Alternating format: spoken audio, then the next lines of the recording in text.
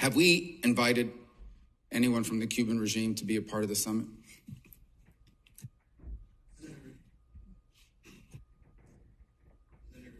Sorry, pardon me.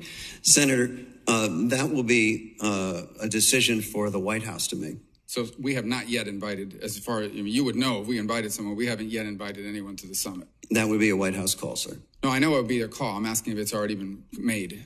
Uh, not to my knowledge. Okay. Um, we recognize Juan Guaido as the legitimate interim president of Venezuela. That's a correct. Absolutely. Okay.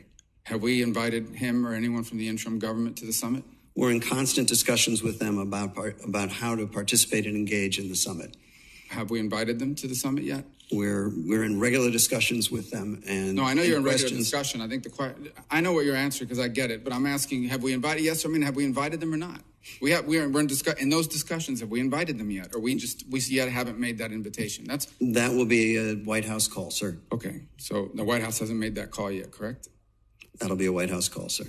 Have we invited the Maduro uh, regime or any of its representatives to the summit? Absolutely not. We don't recognize them as as a sovereign government. Okay. And um, have we invited uh, anyone from the uh, Ortega regime to the summit? No. Okay.